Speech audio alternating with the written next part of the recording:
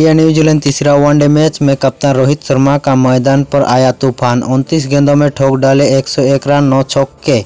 आप भी देखना चाहते हो रोहित शर्मा का पूरा वीडियो, इस वीडियो को एक लाइक करें, चैनल को सब्सक्राइब करें, बेल आइकन दबाइए और नोटिफिकेशन को दबाना बिल्कुल ना भूलें। टीम इंडिया ने न्यूजीलैंड को पहला वनडे मैच में 12 रन से हराकर सीरीज़ में एक ज़ीरो से बढ़त बनाई। फिर दूसरा वनडे मैच में भारत ने न्यूजीलैंड को आठ विकेट से हराकर सीरीज़ को अपनी नाम कर ली। भारत तीसरा वनडे मैच में मैदान पर रोहित शर्मा और सुमन गिल का तूफानी पारी से भारत ने बनाए तीन सौ पचासी रन, जिसमें कप्तान रोहित शर्मा 101 रन, शुभमन गिल 112 रन और विराट कोहली 36 हार्दिक पांडे इक्यानवे रन। इसमें न्यूजीलैंड की अर्श गेंदबाजी में मिचल सेंटनर जे डोफी ने लिया तीन तीन विकेट और एम ब्रसलान ने लिया एक विकेट। तीन सौ पचासी रन का लक्ष्य को पीछा करने उतरे न्यूजीलैंड की टीम 22 ओवर में दो विकेट की नुकसान पर डेविड कन्वे अठासी रन और डेविड मिचल इक्कीस रन बनाकर खेल रहा था।